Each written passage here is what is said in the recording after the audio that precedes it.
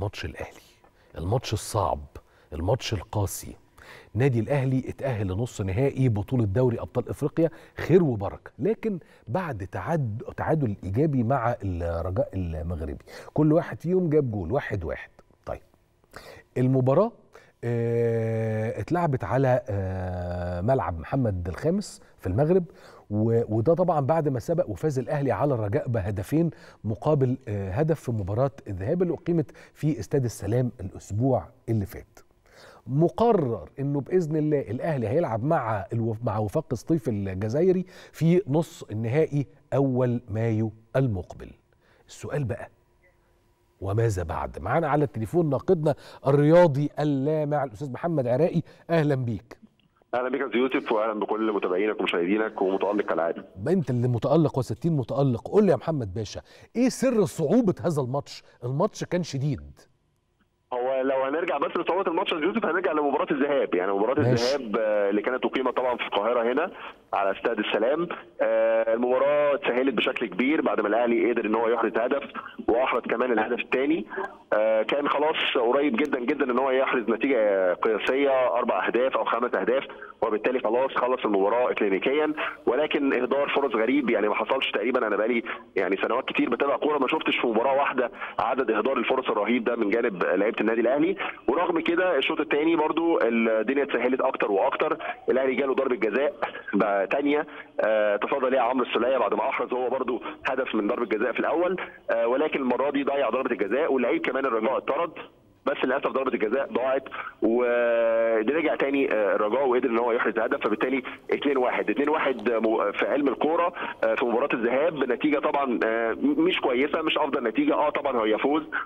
ولكن مش أفضل نتيجة لأن المنافس لو قدر يفوز عليك 1-0 بس آه على أرضه آه بيتأهل. فبالتالي هو ده اللي وضع الأهلي في موقف صعب. فأنا من وجهة نظري الأهلي هو اللي وضع نفسه في الموقف الصعب ده لأن مباراة الذهاب كانت سهلة وسهلة جدا جدا. كان الأهلي يقدر يحقق آه رقم قياسي من الأهداف فبالتالي كان هيسهل المباراة وكان هيخلي مباراة الإياب مباراة تحصيل حاصل. ولكن شاءت الظروف إن مباراه الإياب ما تبقاش تحصيل حاصل. حصل طبعا أكتر من يعني آه، الجمهور المغربي اتكلم في قصة الظلم التحكيمي وضربه الجزاء الأولى اللي احتسبت للاهلي في مباراة الذهاب ما كانش ليها أساس من الصحة. حصل عملية شحن كبير جدا جدا للجماهير آه، المغربية. ابتدى بقى الجمهور برضو في المباراة زي ما شفنا طبعا امبارح آه، دخول بأعداد كبيرة جدا عن الأعداد المسموحة الاستاد كان فيه أكثر من 60 ل 70 ألف متفرج. آه، طبعا كان في ضغط كبير ليزر آه، حتى الأداء التحكيمي طبعا ما كانش في أفضل أحواله ولكن دايما الأهلي وكعادة اللعيبة المصريين بيظهروا في الوقت الشدائد زي ما بيقولوا الوقت الشديد أو الوقت الصعب. فعلا لعيبة الأهلي ظهروا بشكل كويس جدا رغم تقدم آه، الرجاء بهدف آه، يمكن تقريبا في أول ثلاث أربع دقائق ولكن الأهلي قدر إن هو يرجع على طول. ورغم برضو إن الفريق جات له ضربة جزاء ثانية وأهدرها علي معلول ولكن آه، رجع قدر الأهلي يحرز هدف طبعا عن طريق محمد عبد المنعم قبل انتهاء الشوط الأول تقريبا بثلاث دقائق ده يمكن الهدف اللي قتل المباراة بشكل كبير. حاول الرجاء طول الشوط الثاني إن هو يحرز الهدف. ولكن طبعا خلينا نتكلم طبعا عن تألق محمد الشناوي اللي كان واحد من أهم نجوم المباراة. وكان ليه دور كبير جدا جدا جدا في ابقاء النتيجة عند ال- الواحد واحد. وبالتالي النتيجة دي صعدت الأهلي لمباراة ومواجهة وفاق الصيف في الدور نصف النهائي. وأنا عايز أقول لك كمان يا يوسف يمكن البطولة اتسهلت بشكل كبير آه، الترجي التونسي وفاق سطيف قدر إن هو آه، يخرجه من البطولة. كمان النهارده صن داونز خرج من البطولة آه، قدام بيترو أتلتيكو مفاجأة البطولة السنة دي. فبالتالي يعني أنا شايف إن مشوار الأهلي ابتدى يتسهل بشكل كبير. مواجهة وفاق سطيف والناحية الثانية كمان بيترو أتلتيكو يعني ممكن الأهلي يلاقي نفسه في مواجهة بيترو أتلتيكو في نهايه البطولة. فبالتالي الأهلي يعني الظروف كلها مهيئة قدامه إن هو يحقق البطولة للمرة الثالثه على التوالي. طب ده كلام كويس جدا. اذا ليه تم توجيه سهام من النقد الشديد واللاذع لموسيماني؟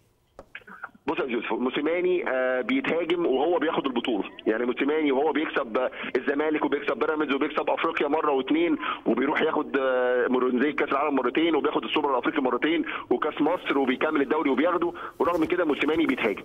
إحنا لسه مش متقبلين فكرة مدرب إفريقي في الأهلي. لسه برضه شايفين إن هي تقيلة شوية. في ناس كتير بتقول إن أداء الأهلي مش أفضل حاجة. ولكن ال- ال- العبرة بالنتائج. يعني أنا من الناس أو من مدرسه دايما في الكورة العبرة بالنتائج خصوصا كمان على مستوى ال- ال- الفرق الكبيرة زي النادي الأهلي. النادي الأهلي دايما بيبحث عن بطولة النادي الأهلي طول الوقت بيبحث عن الفوز ولا غيره. فبالتالي الفوز بقى يجي بأي طريقة. مش مش يعني مش هنقعد نفكر هنقول الفوز هيجي بأني شكل. الفوز هيجي باي شكل لازم يجي بأي طريقة وهو موسيماني راجل محترف وراجل عارف هو بيعمل إيه وده ظهر إن هو خد البطولة مرة واثنين آه طبعا في طبعا آه انتقاد لموسيماني ده طبعا ظاهر جدا وظاهر بشكل كبير لأن جمهور الأهلي دايما بيبقى عايز الفوز وبيبقى عايز الأداء ولكن ده صعب في علم الكورة صعب. في برضه انتقادات ليه في اختياره لبعض اللعيبة آه. زي مثلا بيرسي تاو آه اللي بيقولوا مثلا ليه بيلعب زي آه طاهر محمد طاهر. ولكن الراجل بيبقى ليه ساعات رؤية فنية إن واحد زي طاهر محمد طاهر بيقدر يدافع بيقدر يعمل أدوار دفاعية أكتر مثلا من أحمد عبد القادر اللي جمهور الأهلي طول الوقت بينادي إن هو يلعب أساسي. آه بيرسي تاو الراجل بيشوفه لعيب سريع ولعيب بيقدر يخلق فرص حتى لو مش بيحرز أهداف ولكن ليه دور تكتيكي داخل الملعب. ايا كان اللعيبة اللي بيستخدمها الراجل بدل بيحقق الهدف بتاعه وبدل بيحرز بدل بيحقق انتصارات وبيحقق بطولات فبالتالي لازم أنا من وجهة نظري إن جمهور الأهلي لازم يكون في ظهره ولازم يكون وراه لأن هو بيعمل أرقام ونتائج استثنائية أعتقد إن هي ما حصلتش قبل كده في تاريخ الأهلي. طب أنا عايز أختم معاك الحلقة بسؤال متعلق بالنتيجة مع وفاق سطيف. كام كام؟ أه توقع يعني؟ آه. ربنا يجعل وشك حلو على الأهلاوية وعليا يعني أتوقع نتيجة؟ توقع يا باشا. آه، يعني هو طبعا مباراة الذهاب هتكون في القاهرة ومباراة العودة هتكون هناك في الجزائر. أتوقع إن شاء الله الأهلي يقدر يحقق هنا فوز ما يقلش عن آه، بفرق هدفين إن شاء الله. وأتوقع إن الأهلي يحقق تعادل بإذن الله في الجزائر. طب هدف كمان زيادة في الجزائر يا أخي.